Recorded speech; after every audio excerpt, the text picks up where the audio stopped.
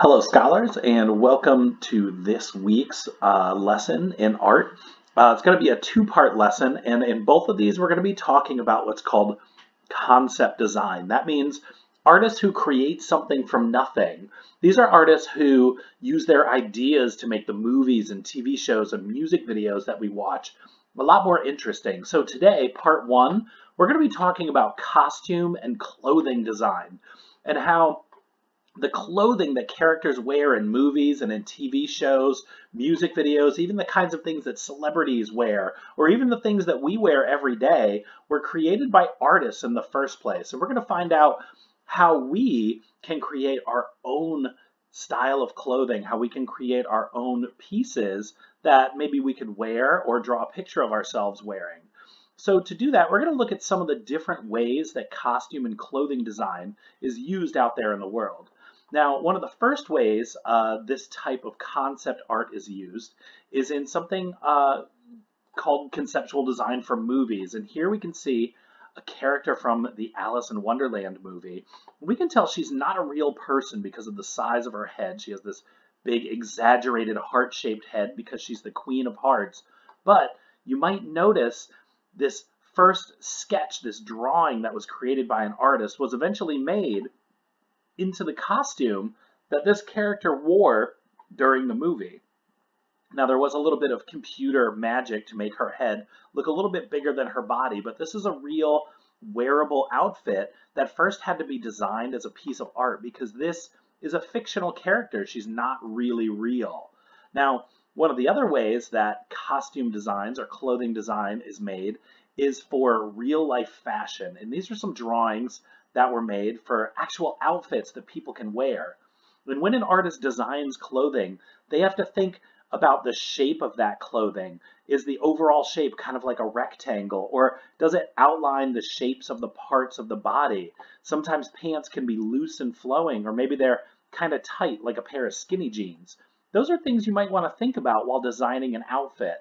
I picked these three drawings because I really liked the patterns that the artists have chosen to make that uh, clothing a little bit more interesting and a little bit more exciting. Now these are pieces of clothing that were made in just black and white, but you could absolutely use any colors you want.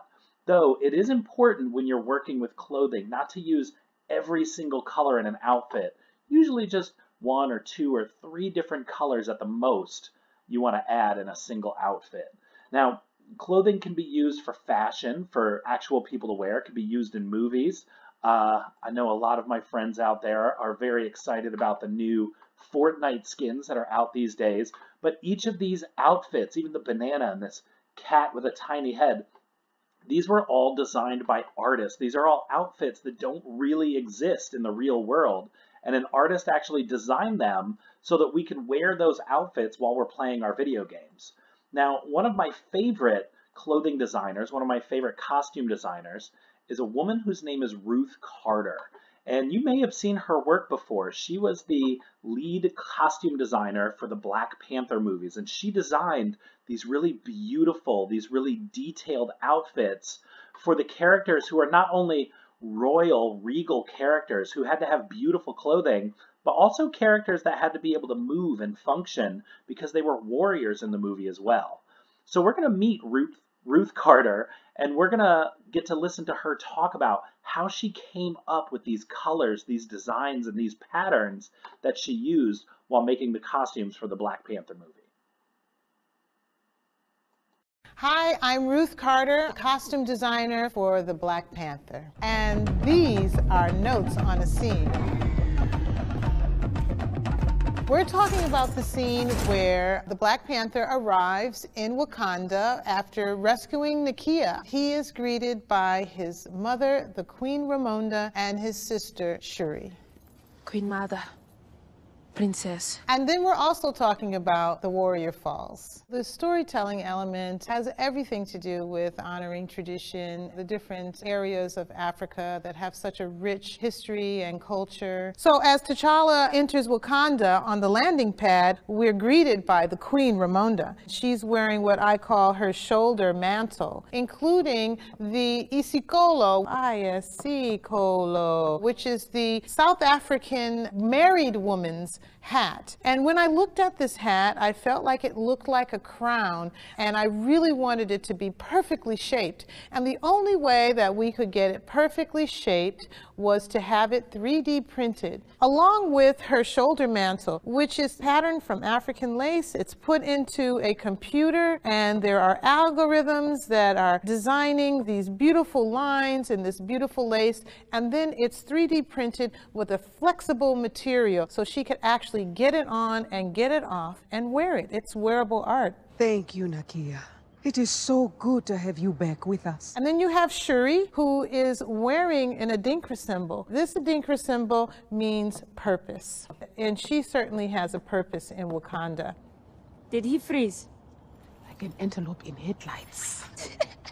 Over on your left, you see Florence Kasumba, who is one of our Dora Milaje. She is wearing silver metallic armor. Ryan Coogler really wanted all of the armor on the Dora Milaje to look like jewelry. And so we made sure that it had a brilliant shine. There's this area of the Dora Milaje that I like to call the harness. I wanted the harness to look like it was hand tooled. Hand tooled by the same special craftsmen of Wakanda that would make the queen's costume because it's a great honor for someone to be a Dora Milaje. They also wear neck rings and arm rings that are from South Africa, just like the Ndebele tribe. The beadwork is inspired by the Turkana tribe. So you see different regions of Africa. My comfort for your loss. Thank you, Nakia.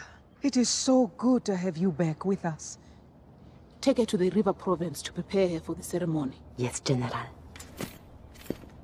Nakia is a war dog. She is a Nigerian princess. Nakia wears green. Right here, a river stone. And it's something that we wanted to include to signify her tribe and her country. She is a spy and she was undercover as a Muslim girl. And she wore a burqa type drape when she was a spy. And then she takes it off and underneath it all is her fighting costume. On the other side of T'Challa, we have Okoye who is played by Danai Gurira, and she is wearing gold armor. And that signifies that she is the leader of the Dora Milaje. And then in the middle, we see T'Challa. His costume here is from Captain America Civil War. He has a triangular pattern that we infused in the suit. It's kind of like the sacred geometry of Africa. Not only makes him a superhero, it also makes him an African king. An antelope in headlights.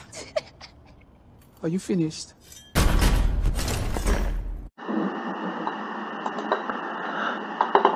So now that we've seen some of the thought processes behind how a designer designs their clothes, we got some really great ideas from Ruth Carter there.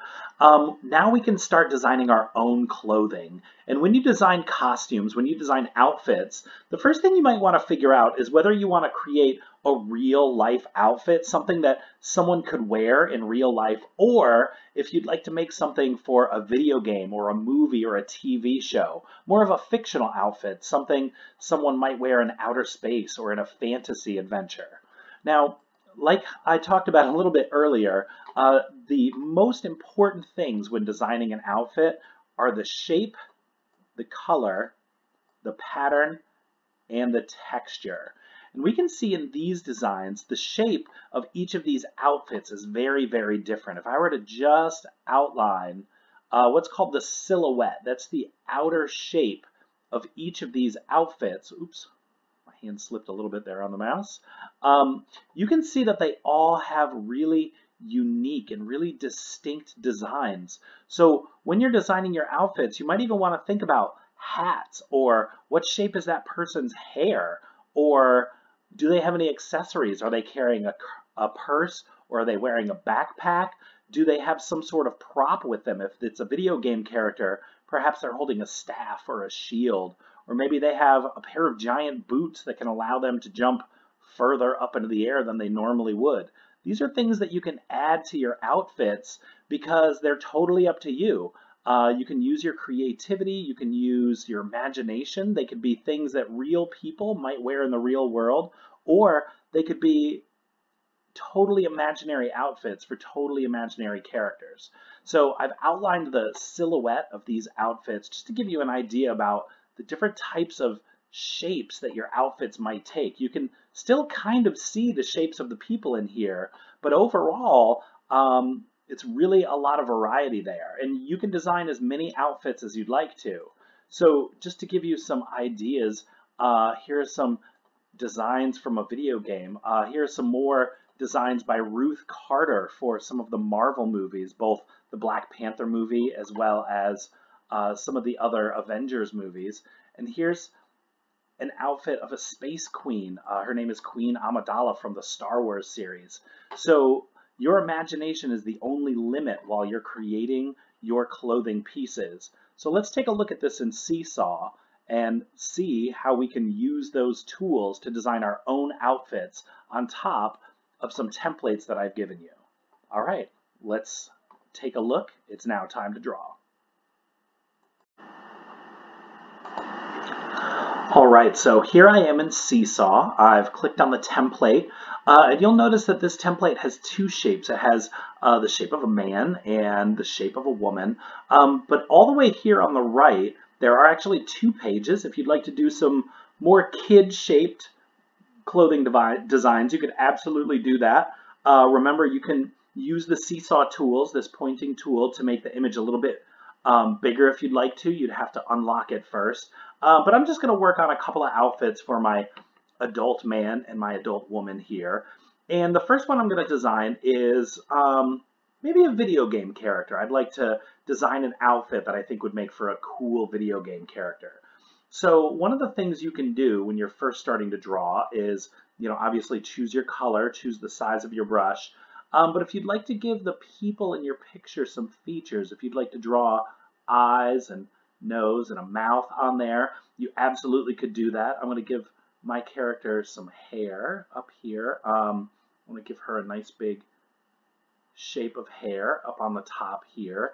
And then I can start uh, really designing her outfit. And I'm going to have her outfit be kind of the this deep reddish purple color, kind of a magenta.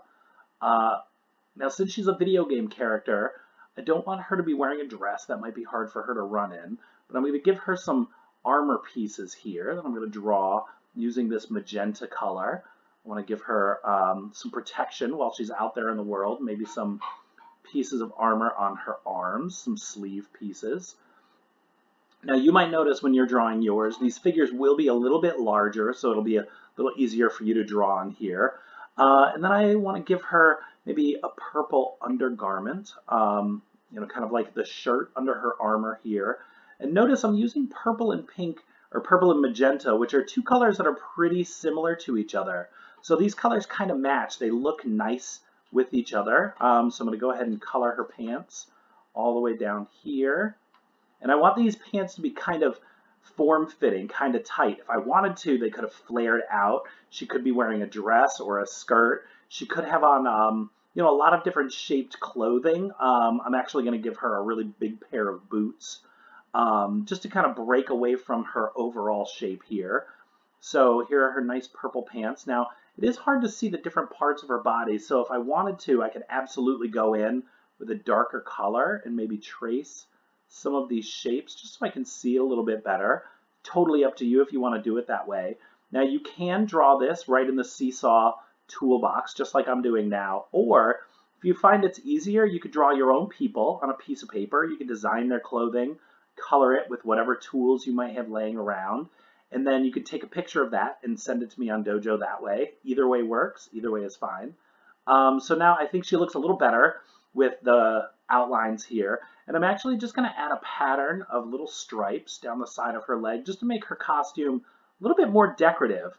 Something like a pattern uh, isn't usually a big change. Uh, you know, I'm just making these little marks, these little lines going down the sides of her legs, but it really does make her outfit look a little bit more real, a little cooler, a little bit more fashionable. Um, so I'm just going to move. Notice how my colors are all kind of in the same neighborhood here on the color wheel. Uh, so now I'm going to pick kind of a dark blue color for her boots and her gloves. Like I said, I'm going to do some nice big boots. Um, if this were a video game character, maybe she has some sort of special boots. Um, maybe they have rockets on the bottom of them so she can fly. I think that's what I'm going to add to this just to make her a little bit more interesting. I think it would be a really cool feature for a video game character to have. So I could go up here, add some yellow. Maybe I can have little like rocket boots coming out down here. It looks like she's flying. Um, and then I'll pick that dark blue color again and I'll give her some nice safety gloves here. Um, if she is going to be flying around on those boots, I might want to give her uh, some goggles. So Actually going to cover over her eyes here, give her some goggles to wear. I could give her a headband that kind of matches her armor to keep her hair in place while she's flying. And I think this is a pretty cool character and a pretty nice costume design. So go ahead and design um, either one of these characters, both of these characters. You could do the characters from both pages. Um, if you want to make a lot of these, if you want to practice lots and lots of costumes, you can actually click on these three little dots on each page. And you could, once you click on that, uh, it'll bring up a little option to duplicate the page. And that will actually make another copy of that page if you want to keep making costume after costume after costume for those characters. Remember, once you're all done, if you'd like to label it, you can definitely use the typing tools. You could name your character. If you want to write the name of your character with a pencil, maybe her name is uh, Darla, so I could say she's Darla. Uh, I think that's a cool name for her. And then when I'm all done, I'm going to click this green check in the corner and make sure my work is submitted. All right, thank you very much, and I can't wait to see your drawings.